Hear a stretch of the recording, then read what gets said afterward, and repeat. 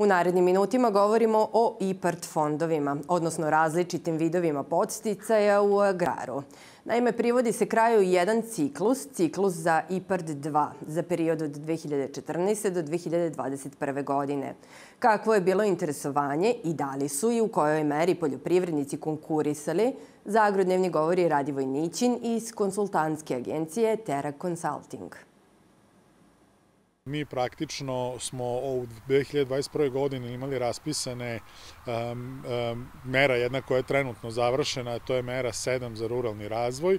Imali smo uh, meru 1 investiciju u fizičku imovinu i izgradnju, imali smo meru 3 koja je vezana za preradu. Tako da smo, eto kažem, u drugoj polovini godine 2020. praktično imali tri najznačajnije, najznačajnije mere ono što je suština jeste da mi, e, da se država Srbija uspela da se kandiduje i za e, IPARD 3, koji bi trebao da startuje 2022. godine, e, tako da praktično mi očekujemo da će krajem 2022. i početkom 2023. opet se ući u neki ritam raspisa konkursa kako bi korisnici imali jasan uvid i mogućnost da planiraju kako, kako bi unapredili svoju, svoj biznis.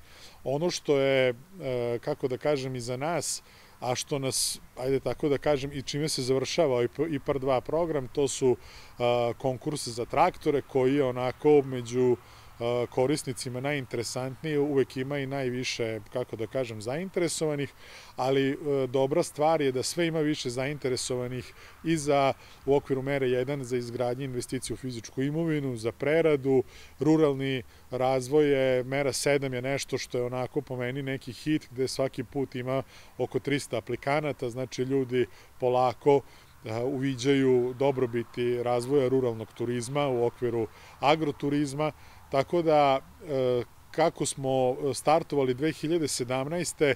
što bi rekla ona izraka, dobro smo i, e, dobro smo i završili.